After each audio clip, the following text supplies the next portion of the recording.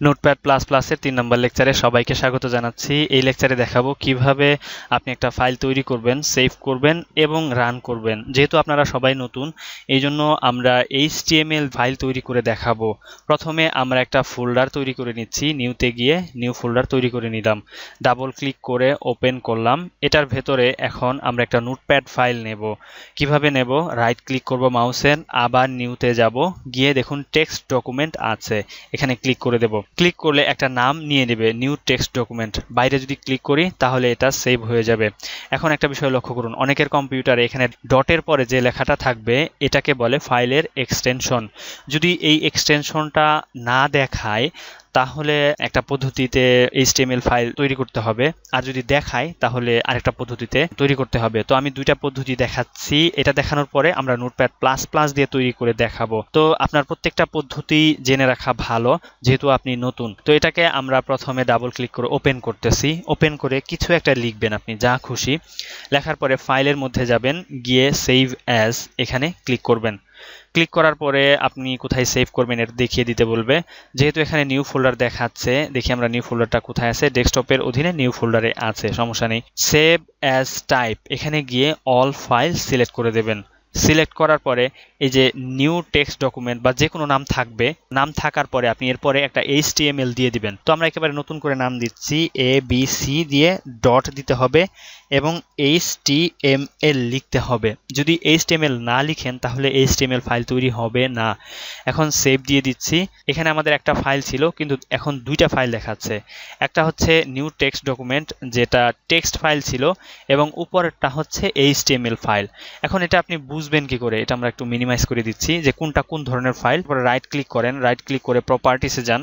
তো এখানে লেখা থাকবে টিএক্সটি তার মানে এটা টেক্সট ফাইল উপরেরটা যদি একইভাবে আগে সিলেক্ট করে নিতে হবে, তারপর রাইট ক্লিক করে প্রপার্টিসে যান, তাহলে দেখাবে এই যে এইচ যদি আপনার কম্পিউটারে ফাইল এক্সটেনশনটা দেখায়, তাহলে কীভাবে আপনি এই কাজটা করবেন? ফাইল এক্সটেনশন দেখানোর জন্য স্টার্ট মেনুতে যাবেন, গিয়ে সার্চের মধ্যে লিখবেন ফোল্ডার। ফোল্ডার অপশনস আসবে, ক্লিক করেন, ভিউতে যাবেন, একটু নিচের দিকে দেখুন লেখা আছে, hide extensions for known file types. Tick চিহ্নটা উঠিয়ে দিবেন, উঠিয়ে দিয়ে ওকে প্রেস করবেন। এবার দেখুন আমাদের ফাইলের এক্সটেনশনগুলো দেখাচ্ছে। এখানে টিএক্সটি দেখাচ্ছে, এখানে এইচটিএমএল দেখাচ্ছে। দুইটাকেই আমরা এখন একটু ডিলেট করে দিচ্ছি। সিলেক্ট করে কন্ট্রোল ডি প্রেস করলে ডিলেট হয়ে যাবে। আবার আমরা একটা টেক্সট ফাইল নিচ্ছি এখান থেকে। এবার লক্ষ্য করুন, আপনি যে নামে আপনার এইচটিএমএল ফাইলটা তৈরি করতে চান, একটা নাম দেবেন, আমরা ওয়ান টু থ্রি দিলাম। দেওয়ার পরে মাউজের কার্যটা শেষের দিকে নিয়ে টিএক্সটি কেটে দেবেন, এবার লিখবেন H T M L enter press করবেন। ইন্টারপ্রেস করলে কনফার্ম চাইবে যে আপনি কি নিশ্চিত নাকি এই ফাইলটা চেঞ্জ করতে চাচ্ছেন। আমরা ইয়েস দিয়ে দিচ্ছি। লক্ষ্য করুন, আমাদের ফাইলটা কিন্তু পরিবর্তন হয়ে এইচটিএমএল ফাইলে রূপান্তর হয়ে গিয়েছে। আপনি এই দুইটা পদ্ধতির যে কোনো একটা পদ্ধতি ফলো করতে পারেন। আমরা এটাকে একটু লার্জ আইকন করে নিচ্ছি। কীভাবে করব? রাইট ক্লিক করলে ভিউতে যাব লার্জ আইকন সিলেক্ট করে দেব। মজিলা ফায়ারফক্সের আইকন দেখাচ্ছে। আপনার গুগল ক্রোমের আইকন দেখাইতে পারে। ইন্টারনেট এক্সপ্লোরার দেখাইতে পারে এবং অপেরা মিনির আইকন দেখাইতে পারে যে কোনো আইকন দেখাক, যদি শেষে এইচটিএমএল লেখা থাকে, তাহলে বুঝবেন যে আপনার এটা এইচটিএমএল ফাইল তৈরি হয়ে গিয়েছে। এবার এটাকে আমরা ওপেন করব নোটপ্যাড প্লাস প্লাস দিয়ে। সিলেক্ট করে রাইট ক্লিক করব। রাইট ক্লিক করলে আপনার নোটপ্যাড প্লাস প্লাস যদি ইনস্টল করা থাকে, তাহলে অবশ্যই এখানে দেখাবে edit with Notepad plus plus click করেন। One two three HTML new four নামে একটা ছোট্ট ফাইল ছিল, যেটাকে আমরা সেভ করি নাই, এটাকে আমরা ডিলেট করে দিচ্ছি। ডিলেট করলে হয়তো বা চাইতে পারি ইয়েস নো আমরা নো দিলাম। এখন আমাদের এই ফাইলটা একেবারেই ফাঁকা, কিছুই লেখা নাই।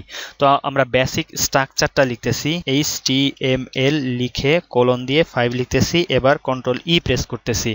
আমাদের বেসিক স্ট্রাকচারটা তৈরি হয়ে যাবে। আপনার এটা তৈরি হবে না, কারণ আমরা একটা প্লাগ ইউজ করতেছি। এই প্লাগ ব্যবহারটা আমরা পরে দেখাবো। আপনি চাইলে এই কোডটা ডিসক্রিপশন অংশ থেকে কপি করে এখানে পেস্ট করে দিতে পারেন হেড এটা যদি না থাকে, আমরা এটাকে ডিলিট করে দিচ্ছি। উপরে ডক টাইপ এটাও যদি না থাকে, তবুও কাজ করবে। এই যে ল্যাঙ্গুয়েজটা আছে, এটাও আমরা ডিলিট করে দিচ্ছি। জাস্ট এইচটিএমএল শুরুতে, শেষে বডি মাঝখানে, এবং এই বডির ভেতরে কিছু একটা লিখতে হবে। আমরা প্যারাগ্রাফ ট্যাগ নিচ্ছি, যেটা আপনারা সবাই জানেন। প্যারাগ্রাফের মধ্যে যে কোনো একটা কিছু লিখতেছি। আমরা লিখলাম সি এস আই টি এই লেখাটা আমাদের ওয়েব ব্রাউজারে দেখাবে। তো এখন এই যে আমরা প্রথমে তো একবার সেভ করেছি, কিন্তু এই যে কোড সহ, এটা কিন্তু সেভ করা হয় নাই। এটা সেভ করার জন্য কন্ট্রোল এস প্রেস করব অথবা এই যে এখানে সেভ আইকন প্রেস করব। যদি সেভ না করা থাকে যে এই আইকনটা রেড দেখাবে, আর যদি সেভ করা থাকে রেড দেখাবে না। আমরা সেভ করে দিলাম, দেখুন রেড কালার কিন্তু চলে গেল। এখন এই যে সিএসআইটি এই লেখাটা দেখাবে। তো আমরা কীভাবে রান করব? আমরা এখান থেকেই রান করতে পারি নোটপ্যাড প্লাস প্লাস থেকে, অথবা এই যে আগের আইকন ছিল, এখান থেকেও রান করতে পারি। তো আমরা আগে এখান থেকে রান করে দেখাচ্ছি। এখানে রান অপশন পাবেন। রানের মধ্যে ক্লিক করেন। এখানে কয়েকটা ওয়েব ব্রাউজারের অপশন দেখাবে। ক্রোম ফায়ারফক্স আমরা ক্রোম দিয়েই এটা রান করতেছি। ক্লিক করলেই ক্রোমের মধ্যে এটা ওপেন হবে। সিএসআইটি কে দেখাচ্ছে। এখানে আপনি যা লিখবেন, আপনার নাম, ঠিকানা সব কিছু এই ওয়েব ব্রাউজারের মধ্যে ওপেন হবে। তো আমরা আরও কিছু লিখতেছি। দেখুন, নিচে টাস্কবারে এটা আছে। ওয়ান টু থ্রি একটা স্পেস দিলাম। এটাকে যদি আপনি সেভ না করেন, তাহলে কিন্তু এটা কাজ করবে না। এই জন্য প্রথমে সেভ করে নিতে হবে। তো আপনি কি এখন বারবার এই যে রান থেকে গিয়ে ওই একই পদ্ধতিতে এটা ওপেন করবেন? দরকার নেই। তো আপনার যেহেতু আগের পেজটা ওপেন করা আছে এই জন্য শুধু ওই ব্রাউজারে গিয়ে এই যেরকম রিফ্রেশ বা রিলোড এরকম একটা চিহ্ন আছে, এখানে ক্লিক করলেই হবে, অথবা কিবোর্ড থেকে এফ ফাইভ বাটনটা যদি চাপেন, তাহলে রিফ্রেশ হয়ে যাবে। তো আমরা এইটা চাপতেছি। দেখুন ওয়ান টু থ্রি নতুন করে এখানে চলে এসেছে। আমরা এটাকে মিনিমাইজ করে দিচ্ছি, আমরা ফোল্ডারে চলে যাচ্ছি। এই যে ওয়ান টু থ্রি আছে, এটার নাম আমরা চেঞ্জ করব। কীভাবে চেঞ্জ করব? খুবই সহজ জাস্ট এটার উপরে ক্লিক করেন রিনেমে যান। রিনেমে গিয়ে আপনার ইচ্ছা মতো চেঞ্জ করতে পারেন এ বিসি দিয়ে ইন্টারপ্রেস করেন। চেঞ্জ হয়ে গিয়েছে। এখন আমরা আবার একটু ওপেন করতেছি, এই যে নোটপ্যাড প্লাস প্লাসের এই ফাইলটা যেহেতু আমরা এই নামটা চেঞ্জ করে দিয়েছি, এই নামের সাথে এই নামটা মিলতেছে না, এই জন্য বলতেছে এই কোডগুলা আপনি কি রাখতে চাচ্ছেন? যদি আপনি এই কোডগুলো রাখতে চান তাহলে ইয়েস দিয়ে দিবেন অথবা নো দিয়ে দিবেন। তো আপনি যে কোনোটা দিতে পারেন, আমরা দেখি নো দেই। নো দিলে এই কোডগুলো থাকবে না ডিফল্টভাবে নিউ ওয়ান হয়ে গিয়েছে। তার মানে এটা কিন্তু আমাদের ডিলেট হয়নি জাস্ট এই নোটপ্যাড প্লাস প্লাস থেকে চলে গিয়েছে। তো এটাকে আমরা ক্লোজ করে দিয়ে আবার আগের মতো ওপেন করতে পারি। তো আমরা এটাকে ক্লোজ করতেছি, আবার এটাকে রাইট ক্লিক করে নোটপ্যাড প্লাস প্লাস দিয়ে ওপেন করতে পারি। আপনি এখান থেকেও ডাবল ক্লিক করে এটাকে রান করতে পারেন অথবা রাইট ক্লিক করবেন রাইট ক্লিক করে ওপেন উইথ দেখাবে আপনার ফায়ারফক্স তারপর হচ্ছে গুগল ক্রোম কোন ব্রাউজার দিয়ে আপনি ওপেন করতে চাচ্ছেন। আমরা আবার ক্রোম দিয়ে ওপেন করি। দেখুন, এই যে সেই আগের লেখাটাই দেখাচ্ছে। প্রথমে এখানে যে ট্যাবটা ছিল ওয়ান টু থ্রি এটা আগের ফাইল এটাকে আমরা রিফ্রেশ দিই। এই ফাইলটা আর নেই, কাজে এটা আর দেখাচ্ছে না। এটাকে আমরা ক্লোজ করে দিলাম। এবিসি নামে যে ফাইলটা ছিল বা আমাদের কম্পিউটারে সেভ করা আছে, সেখান থেকে এইটা পাচ্ছে। এই জন্য এই লেখাটা দেখাচ্ছে। কিছু মিনিমাইজ করে দিলাম। এবার দেখাবো কীভাবে আপনি নোটপ্যাড প্লাস প্লাস দিয়েই একটা ফাইল তৈরি করবেন। তো আপনি এই শর্টকাট আইকনে বা এই যে টাস্ক বারে যেটা আছে বা স্টার্ট মেনু থেকে নোটপ্যাড প্লাস প্লাসটা খুঁজে নিতে পারেন। ডাবল ক্লিক করলে ওপেন হবে আগের কোড সহ, এটাকে আমরা এখানে ক্লোজ করে দিচ্ছি। যখন ক্লোজ করবেন, তখন ডিফল্টভাবে নিউ ওয়ান এটা লেখা থাকবে, অবশ্যই থাকবে।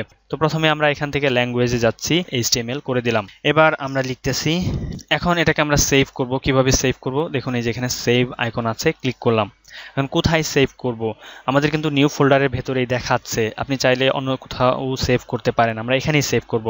তো যেহেতু আমরা প্রথমে ল্যাঙ্গুয়েজ সিলেক্ট করেছি, এই জন্য এইখানে আমাদের এইচটিএমএল দেখাচ্ছে। যদি ল্যাঙ্গুয়েজ সিলেক্ট না করতাম, তাহলে এখানে অনেকগুলা ফাইলের মধ্যে থেকে আমাকে এইচটিএমএল সিলেক্ট করে দেওয়া লাগতো। এবার চাইলে আপনি ফাইলের যে কোনো নাম দিতে পারেন। সিএসআইটি দিয়ে সেভ ক্লিক করলাম। আমাদের এই ফাইলটা সেভ হয়ে গিয়েছে। এটা আমরা ক্লোজ করি, দেখি আমাদের সেভ হয়েছে কি না নিউ ফোল্ডারের ভেতরে যাচ্ছি। এবিসি এবং অন্যটি হচ্ছে সিএসআইটি এইচটিএমএল তো আমরা সিএসআইটিটা ওপেন করতেছি। ওপেন উইথে গেলাম ওপেন উইথে গিয়ে ফায়ারফক্স দিয়ে ওপেন করলাম। একেবারে ব্ল্যাঙ্ক এখানে কিছুই নেই, কারণ আমরা কিছুই লিখি নাই। যদি কিছু লিখতাম তাহলে এখানে দেখাতো। তো আমরা একটু মিনিমাইজ করে দিচ্ছি মিনিমাইজ করে আবার নিউ ফোল্ডারের ভেতরে ঢুকে এটাকে নোটপ্যাড প্লাস প্লাস দিয়ে ওপেন করতেছি। বাংলাদেশ লিখলাম, লিখে কন্ট্রোল এস প্রেস করে সেভ করলাম। এখান থেকেও রান করতে পারি অথবা রিফ্রেশ করতে পারি। যেহেতু আমাদের এটা ওপেন আছে, তো এই যে এখানে দেখুন রিলুট বা রিফ্রেশ আইকন আছে ক্লিক করতেছি। এখানে বাংলাদেশ লেখাটা দেখাচ্ছে। তো এখন আপনি যদি আরও ফাইল তৈরি করতে চান এখানে একই সাথে, তো সেটা কীভাবে করবেন? নিউতে যাবেন। গেলে এই যে নিউ ওয়ান এরকম একটা ফাইল আপনাকে দেখাবে নতুন ডকুমেন্ট তো একইভাবে ল্যাঙ্গুয়েজ সিলেক্ট করে, নাম পরিবর্তন করে এভাবে আপনি যত খুশি ফাইল তৈরি করতে পারবেন।